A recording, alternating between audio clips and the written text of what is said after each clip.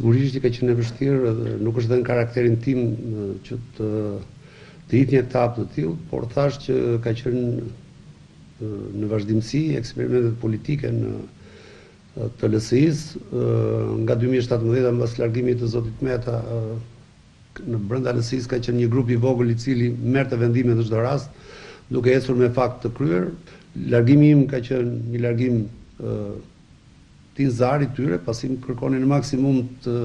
të kandidoja edhe në në Durrës, të kandidoja përsëri në në Berat dhe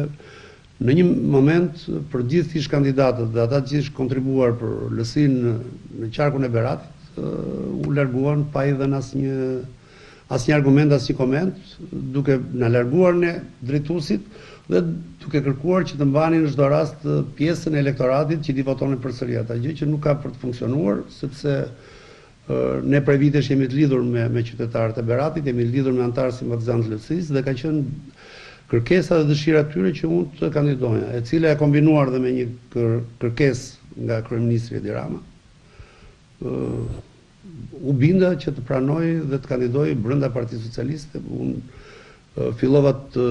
prej disa muajsh të të ushtroja profesionin tim të avokatit pranë studios ligjore, sepse ky është profesioni im. Dhe kjo është një nga arsyet që